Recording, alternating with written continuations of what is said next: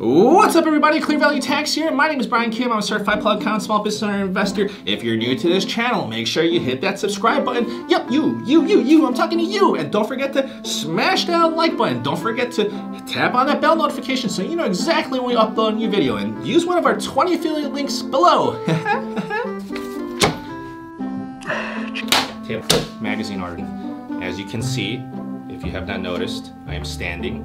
You know, there are no $4,000 stimulus checks. There is not even a proposal for a $4,000 stimulus. If you thought that there was, then you've been a victim of clickbait.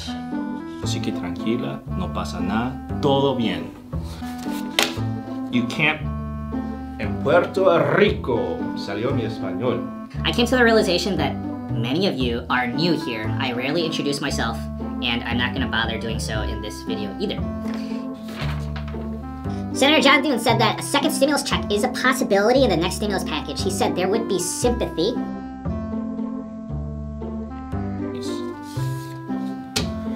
It's ridiculous. He literally said, I'm not making any of this up.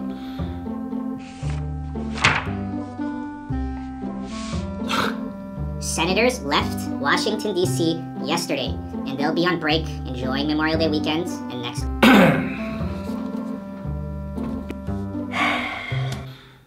This sounds like a conversation between third graders.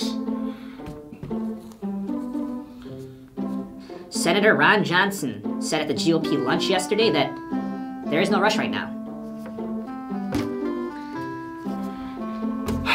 It is so stupid. For a second round of payments, if we get through the next few weeks and we're still in a really tough spot economically. John, 40 million people are on unemployment. There's civil unrest. I do not know what your definition of tough spot economically means. Just because you have an ITIN, it doesn't mean that you're an illegal alien. If-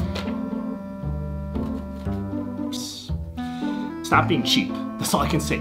Fix this proposal. Like, what are you thinking? Stop being cheap.